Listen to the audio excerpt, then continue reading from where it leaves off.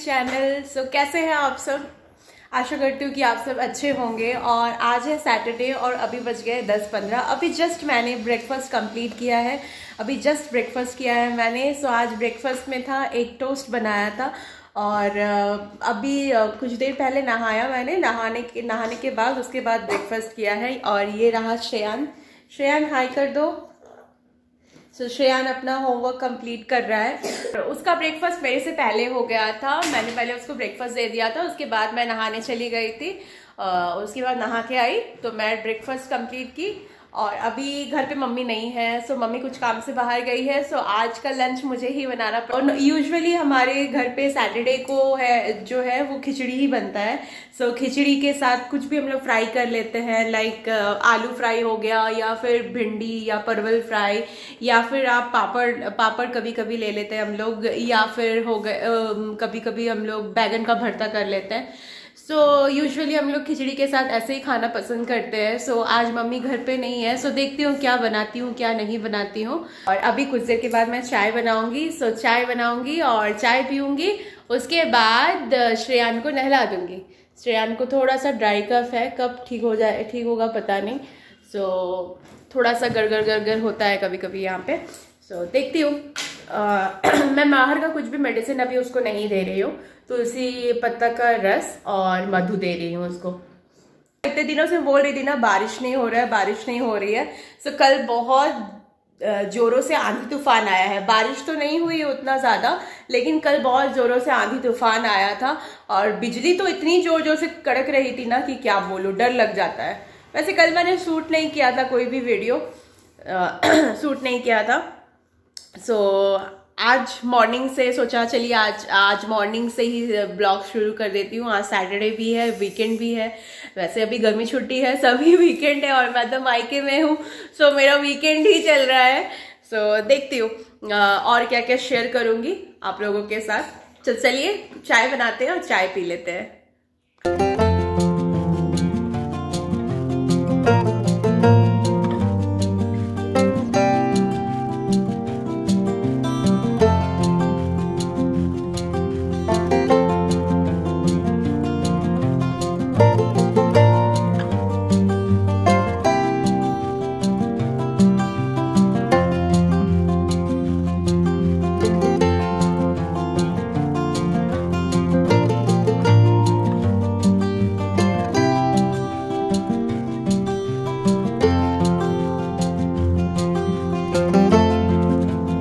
चाय चाय पीना हो गया है और देखिए, ये मॉर्निंग के कुछ बर्तन अभी जमा हो गए हैं। सो सो उनको मैं धो लूँगी। अरे, अभी ना वो श्रेयान की क्लास, श्रेयान का क्लासमेट है। उसकी मॉम से बात कर रही थी। सो हॉलीडे होमवर्क को लेके थोड़ा कुछ कन्फ्यूज़न था। सो वही उससे बात करके थोड़ा क्लियर कर रही थी। बच्चा पूरा बता नहीं पाता है ना? कि स्कूल में क्या हुआ है या नहीं हुआ है और इसी वजह से थोड़ा कन्फ्यूज़न मॉम्स को रह ही जाती है। सो so, इस वजह से मैं उसकी क्लासमेट के क्लासमेट की मॉम से बात कर रही थी। सो so, बात करके कन्फ्यूज़न क्लियर हो गया। सो so, अभी मैं जा रही हूँ लंच बना लूँगी। सो so, पहले मैं खिचड़ी बैठा दूँगी। सिंपल सा खिचड़ी बनाऊँगी। मसूर दाल और जो चावल हम लोग रेगुलर खाते हैं ना राइस उसी उसी से बनाऊँगी। सो so, चलिए स्टार्ट कर देते हैं।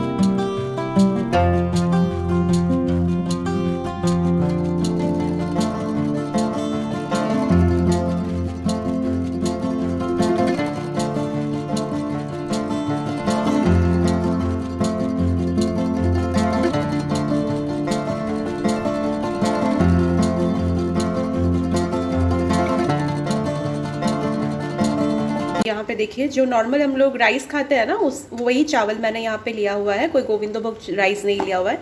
सो जो चावल हम लोग खाते हैं नॉर्मली भात जिसका बनता है, वही चावल और मसूर दाल। सो रेसियो क्या लेंगे आप? मतलब दो कप अगर आप चावल ले रहे हैं तो एक कप मसूर का दाल। और यहाँ पे मैंने प्याज काट के रखा है और टमाटर काट के रखा है। सो दो प्याज है और एक बड़ा साइज़ का टमाटर है। और यहाँ पे थोड़ा सा मैंने गार्लिक लिया हुआ है। और ये गार्लिक को मैं ना यहाँ पे कद्दूकस कर लूँगी। कद्दूकस ने मतलब क्या बोलते हैं उसको? आ, ऐसे करके चॉप कर लूँगी उसको ठीक है? और यहाँ पे देखिए मैंने मेरा तेल गरम हो गया है। जीरा जीरा का फ़ौरन दे रही हूँ। उसके बाद जीरा जैसे ही चटक जाएगा ना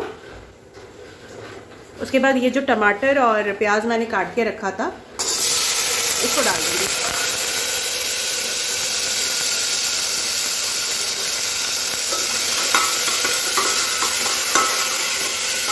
अब इसको अच्छे से फ्राई करना है।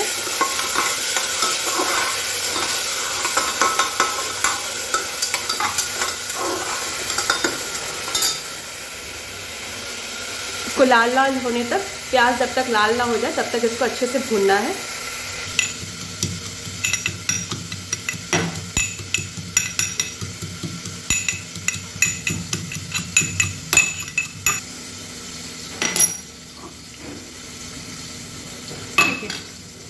ऐसे रहना चाहिए, ज़्यादा बारीक नहीं। तो अब मैं इसको डाल दूँगी। और इसको चलाते रहूँगी जब तक कि ना ये मसाला अच्छा से लाल हो जाए। प्याज जब अच्छे से भुन जाएँगे, तब मैं इसमें नमक और हल्दी डालूँगी। मसाला अच्छे से लाल हो गया, अब मैं इसमें नमक ऐड कर रही हूँ। नमक और हल्दी।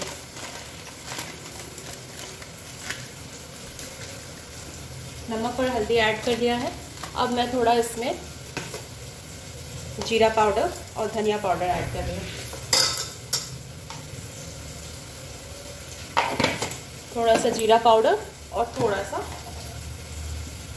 धनिया पाउडर यूज़ कर रही हूँ। डेढ़ डेढ़ चम्मच करीब। अब जो चावल मैंने और दाल मैंने धो के रखे थे ना, वो डाल देंगे। ये देखिए।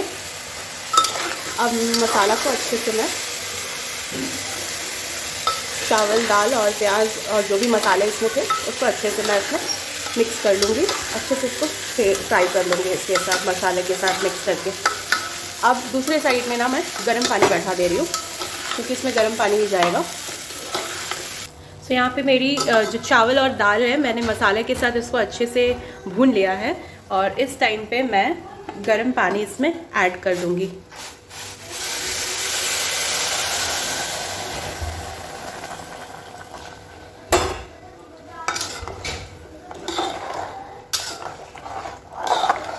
सारा मसाला अच्छे से भून चुका था। अब मैंने इसमें गर्म पानी ऐड कर दिया है। अभी मैं प्रेशर कुकर में चार या पाँच सीटी लगा दूँगी। क्योंकि ये जो चावल है, इसको पकने में थोड़ा टाइम लगता है। अगर ये बासमती चावल या गोलदाना चावल या फिर गोविंद भोग राइस होता तो उसको पकने में ज़्यादा टाइम नहीं लगता। बट इसको थोड़ा टाइम लगेगा, इस वजह से मैं चार या पाँच सीटी लगाऊँगी इसका। अगर ज़्यादा गल भी जाए चावल तो उससे कोई फ़र्क नहीं पड़ेगा बिकॉज़ खिचड़ी है ना तो खिचड़ी में पुलाव जैसा चावल नहीं भी रहने से चलेगा। ये देखें, अभी कुछ ऐसा है सो अभी मैं चार दो चार सी पाँच चार या पाँच सीटी लगा दूँगी सो मेरा खिचड़ी रेडी हो जाएगा।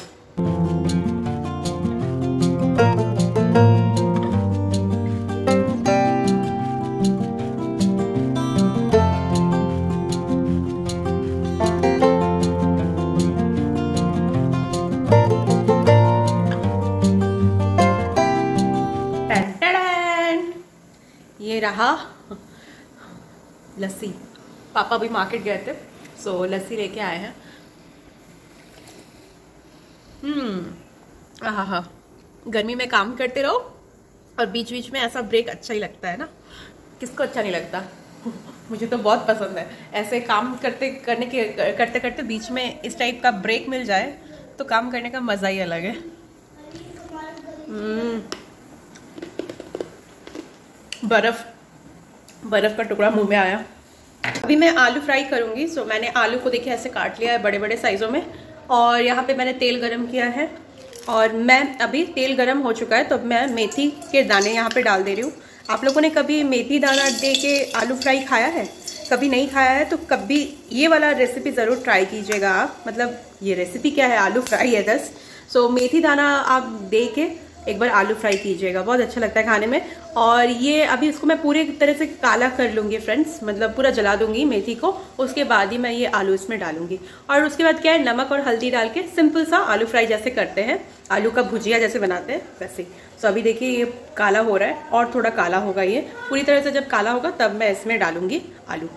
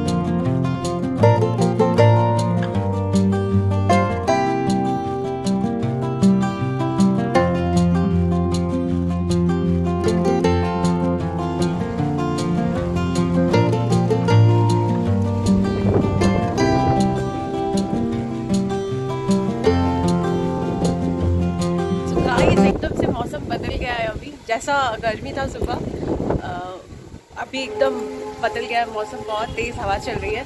और ना मम्मी अभी तक नहीं आई है। मे भी शायद अटक गई होगी बारिश में। यहाँ पे तो तेज़ हवा चल रही है बट जहाँ पे गई होगी कॉल किया था मम्मी को।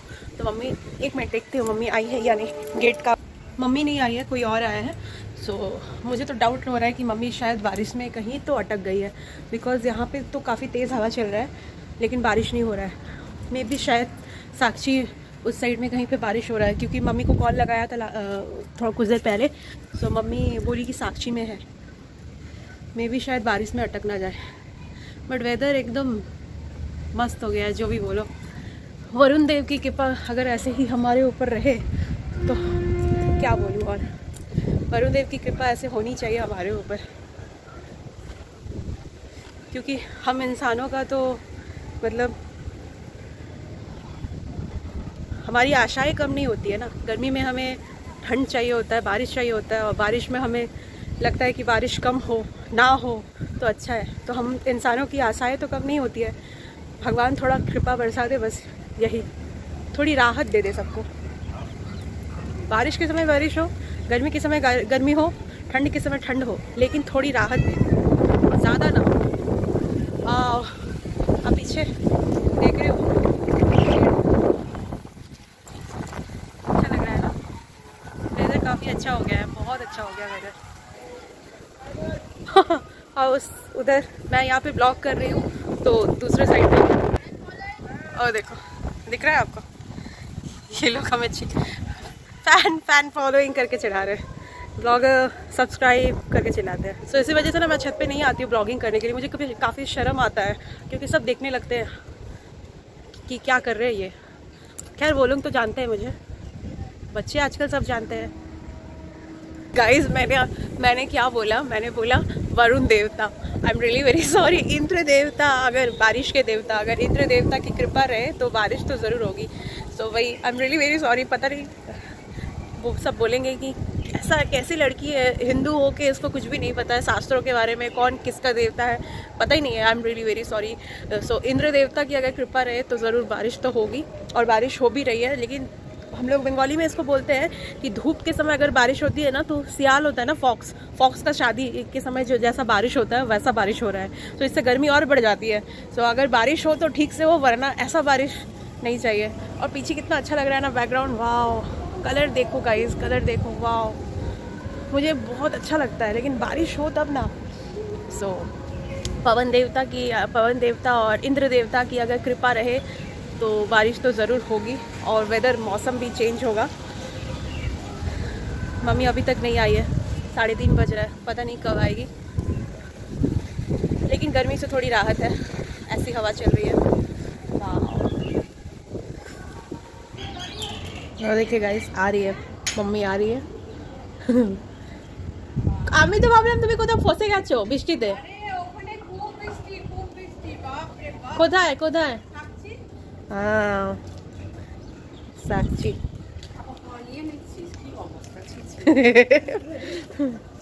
সাম্বার বড়া বাবু সাম্বার বড়া তো সাম্বার বড়া আর গোলগাপ্পা তোর মায়ের গোলগাপ্পা सो गाइस ये है मेरी मम्मी कभी नहीं आना चाहती है कैमरा के सामने क्योंकि हमेशा नाइटी पहन के रहती है सो so, आज पूरी तैयार है तो आ गई सामने हमको लगा ही था कि बारिश में फंस गई थी Hi hi you are so smart चलो श्रेयान लॉक कर दो। लॉक करो लॉक करो। और ये देखिए मम्मी क्या लाई है? श्रेयान के लिए सांबर बड़ा है और मेरे लिए गोलगप्पा लाई है। तो साक्षी बिस्टुपुर अगर हम लोग जाते हैं तो गोलगप्पा तो खाते ही है। तो लेके आइए। तो मम्मी आने के बाद वही बातचीत में लग गए थे हम लोग। कि साक्षी में, बर्मा माइंस में बहुत तेज़ आंधी और हवा चला है और बारिश हो रही है तो काफ़ी पेड़ वेड़ गिरा है तो यही सब बातचीत करने में हम लोग लग गए थे। सो मैं फिर ब्लॉग शूट नहीं किया। सो अभी शाम के अभी छः बज रहे हैं तो सोचा कि गोलगप्पा खा लिया जाए। गाइस ये है गोलगप्पा का पानी, ये है मसाला, ये है पत्ता जिसमें मैं खाऊँगी, और ये रहा गोलगप्पे की पूरी। तो आप कहीं पे भी चल जाओ, एक बार जमशेदपुर का गोलगप्पा आप ट्राई करना। जमशेदपुर से अच्छा गोलगप्पा आपको कहीं पे नहीं मिलेगा। तो चलो स्टार्ट करते हैं पहले खाना। सो so, ये रहा पत्ता इसको मैं करूँगी इस तरह से फोल्ड टन टन अब इसमें मैं मसाला भरूँगी। और ये रहा। हम्म हम्म।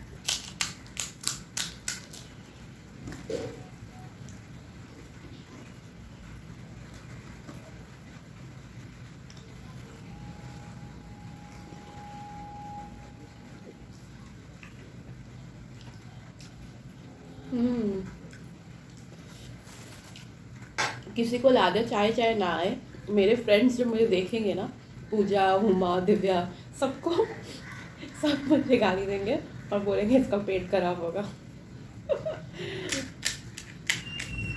क्योंकि वो लोग गोलगप्पा ज़्यादा खाते हैं मेरे साथ और दिव्या तो वाइजैक में है सो वो जमशेदपुर का गोलगप्पा बहुत मिस करती है। बीच में आई थी तो उसने खाया था।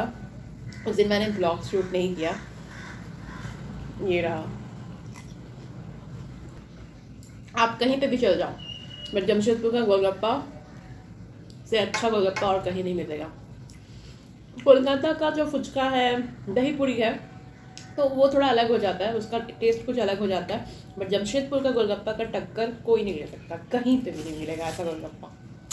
जो भी जमशेदपुर से है लाइक ज़रूर करना वीडियो और कौन कौन मिस कर रहा है, जो जमशेदपुर के बाहर है, कौन कौन मिस कर रहा है गोलगप्पा कमेंट ज़रूर करना।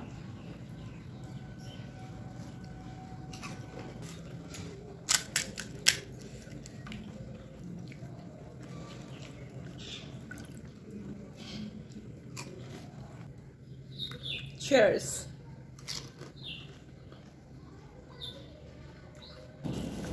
हो गया खाना। ये सूखा अब।